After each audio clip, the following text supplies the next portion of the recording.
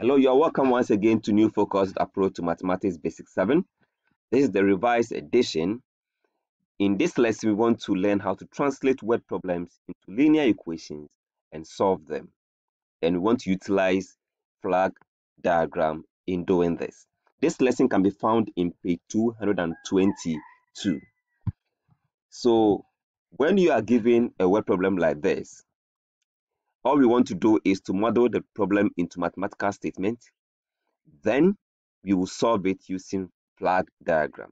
Now, flag diagram helps you to pick the problem one after the other, model it systematically. You do forward and then the backwards. So we move it in one direction, then we move opposite direction to get our result. Now let's look at the question. Three times a number.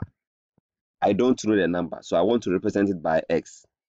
3 times a number minus 7 is 20. 3 times a number minus 7 is 20. Now, this is the equation. We want to represent this equation. So there is a number I don't know. I call it x. 3 times the number gives me 3x, right? Minus 7 gives me 3x minus 7 right so i have this. Now that represents the left hand side of the equation. On the right hand side we start with 20 and we go backwards. Remember that when we are moving forward and it's addition backwards we subtract and vice versa. In multiplication when you're moving forward and it's multiplication if you want to go backwards you divide you remember the concept of multiplicative inverse and additive inverse. And so multiplicative inverse, if it is multiplication, we divide. If it is division, we multiply. And in additive inverse, if it's addition, we subtract. And if it is subtraction, we add. Okay. So going to the opposite direction, starting from 20, here we saw subtraction and so we have to do addition. And so we add 7 to 20 the result will give us 27 then this become equivalent to that. Now on this point we saw times 3 it means we have to divide by 3 so 27 divided by 3 will give us 9 and so this also become equivalent to that. So therefore our x is 9 so for this very question x is equal to 9 as simple as that. Let's take another example. A girl thinks of a number and double it.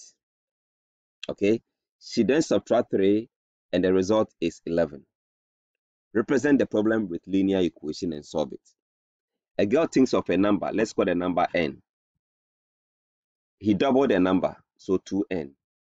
He then subtract 3 from the number and the result is 11.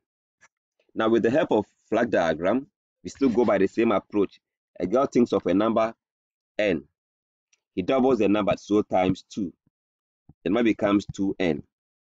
He subtracts 3 from the number, and the result becomes 2n minus 3. So we are done with the left-hand side. Now on the right-hand side, we start with 11. Now here we do, we did subtraction, so we are going to do addition, 3. When you add 3 to 11, you have 14. Okay.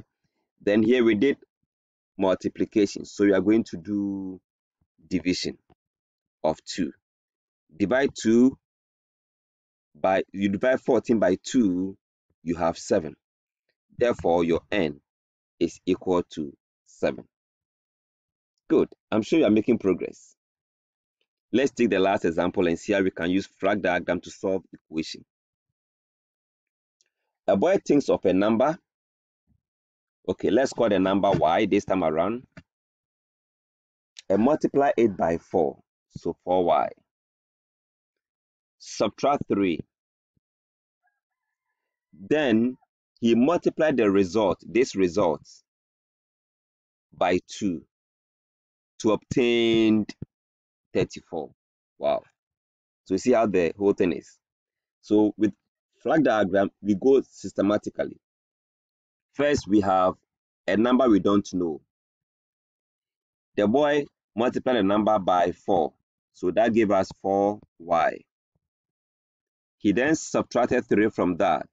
So that gave us 4y minus 3. He multiplied everything by 2. So that will give us 2 into bracket 4y minus 3. So we are done with the left hand side. Now right hand side, we start with 34. That means this is equivalent to that, right? So our first step here it was multiply. So we are going to do divided by 2. So if we divide 34 by 2, that will give us 17. Then we saw subtraction here, so we are going to do addition of 3. When we add 3 to 17, we have 20. So that means this is equivalent to that. Then here we saw multiplication of 4. So it means we are going to divide by 4. Divide 20 by 4, we have 5. Therefore, our y is equal to 5. Right. So this is how we use flag diagram to solve linear equation. Go ahead and solve more questions. Create more graphs or diagrams to solve this. Thanks so much for watching.